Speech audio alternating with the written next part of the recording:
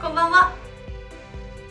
ネット草野球上杉あずさです。この番組は近年全国各地で熱量が高まっている草野球にスポットを当てさまざまな思いを持ってプレーする草野球選手たちの姿に迫ります。怪物になれなかった者たちがたどり着いた夢舞台。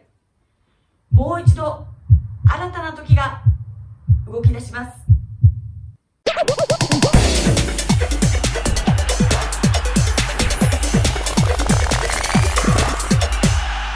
ット草野球。さて今回は第1回目ということなので私の自己紹介をさせていただこうと思います。改めまして上杉あずさです。よろしくお願いします、えー、とにかく野球が大好きなんですが、えー、そうですね。年間昨日数えたんですけど高校野球大学野球ホークスの1軍2軍3軍まだ中学校とかたまに社会人行くとか合わせたら大体年間150試合ぐらいは現地で観戦をしています。本当に何でしょうね。なんかやっぱ現場主義というか球場に行くのが大好きなので夏場は自分で暑くて具合が悪くなりながら一人野球観戦をしているアラサーです。そんな野球を見るのも当然好きなんですけど私がそれこそ2015年から現在今渡辺エンターテインメント九州事業部というところで芸能活動をしているんですが、えー、念願だった野球のお仕事に携わらせてもらってるんですね。それこそ地元球団の福岡ソフトバンクホークスの応援番組のリポーターだったりラジオ番組のパーソナリティをしているんですがその中でホークスの取材活動っていうのをやってきました。特に私はファームの取材に行くことが多いんですが目の前で汗を流して必死に一軍の舞台を目指している姿を見て頑張れ頑張れっていうなんかこう親心みたいなものも芽生えたり一方でじゃあ私も何か頑張らなきゃっていう思いあんな風になりたいなっていう憧れいろんなものが湧き出てきて結果、2016年の秋、まあ、冬前ぐらいからも野球がやりたい。挑戦しようっていうことになったんですよ。本当は小学生の時ぐらいから野球への憧れはあって。でも私が子供の頃はまだ全然女の子で野球をしてる子は少なくてまだまだ勇気が少なかったわけなんですが憧れというのはずっとありました。でそのもう決意に至ったのが2016年。5年前ですね。その時になってやろう。ただもうアラサーの大人の女性1人が野球やりたいなんて言ってもなかなか野球できる場所なんてないですよね。まあそこで最初は周りにこう私野球したいんですみたいなことを言ってせっかくやるんだったら目標を持とうということで、えー、芽生えたのが目指せ100キロプロジェクトっていう構想だったんですね。じゃあまずは分かりやすい。特に女性では100キロは難しいというふうに周りが言ってきたのでじゃあ100キロ目指そう。でもせっかくやるんだったら始球式がやりたいそれは昔からの夢でした。ただ、まあ、芸能活動その時初めて2年目で何の知名度もない私が始球式なんかできるわけないからそれだったらこうやっぱりこうものすごい球を投げるとか何かこう取り上げてもらう切り口が必要だって思って目指せ100キロプロジェクトをタグにしてインスタやツイッターで発信しながらもう一から野球をスタートするっていうところを自分で発信し始めたんですね。最初スタートした時は67とか73とかだったんですよ。そのがんで計測してもらった時。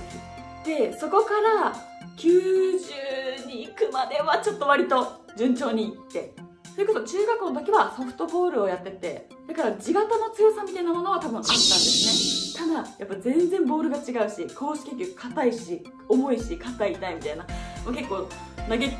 くことがたくさんあったんですけどでもやっぱりこう憧れの舞台に立ちたいと思ってずっと練習してきてでそれを受けてホークスのまずは2軍の方、えスタッフの方がじゃあ2軍戦でしてみませんかっていうお話をくださって2017年の3月に初めてタマスター筑後でセレモニアルピッチという試合前のセレモニーで始球式をさせていただきました。でその時が93キロと7キロ及びませんでした。93キロが悔しいなって思っていて引き続き練習をしていたらえー、その年の9月にリベンジの機会をいただいてその時96キロだったんですよ。3キロしか伸びないのか。まあでもそりゃそうだよな。思いながらも、まあ、刺激をめちゃくちゃ受けてその冬は本当に追い込みました。これもまた後日お伝えしたいんですけれどもあの福岡工業大学公式野球野球部の皆さんにあの練習混ぜていただいて練習をしてきた期間もあったり野球塾の方にずっとアドバイスをしていただいた時期もあっていろんな人に支えられてとうとう2018年です。8月11日今でも忘れませんが、えー、日本ハム戦の1軍の試合前のセレモニアルピッチを福岡の RKB テレビの企画で投げさせていただく機会をもらったんです。そこで晴れて100キロピタリ。達成することができました。本当にもう嬉しくて嬉しくてたくさんの人に感謝の気持ちが芽生えて、まあ、こぼれてきたんですがなんかその時は達成したよっしゃ終わりやじゃなくてそこが通過点だっていう気持ちにすぐ切り替わってやっぱりあ今度はこれでバッターと勝負したい野球がしたいちゃんとチームでやりたいっていう気持ちにもう切り替わって2019年8月本当去年の夏に、現在の福岡ハートバンクポークスという草野球チームでキャプテンをしてくれている川野源太郎君に出会いまして思いを伝えてじゃあ一緒にやりましょう。ということで無事結成に至ったのが去年の秋冬11月12月ですかね。福岡ハードバンクポークスが誕生しました。現在はそこで馬場狩監督兼プレイヤーとしてピッチャーとしてやっています。現在はね新型コロナの影響でプレイできないので1人で家の中でトレーニングをする日々イメトレをする日々なんですが、まあ、これから、まあ、私自身のこともそうですしホークスにも本当にすごい選手面白い選手いろいろいますので、まあ、このチャンネルでご紹介したり私の100キロプロジェクトへの道っていうのを、まあ、6070キロぐらいから初心者の女性が伸びていった姿っていうのは、まあ、ある意味なんかこう見方によっては感じられるものもあるのかなと思いますのでこのチャンネルで伝えていきたいと思います。初めてのチャンネル解説となりましたがこれからこんな感じでおしゃべりしていきたいと思いますのでどうぞよろしくお願いします。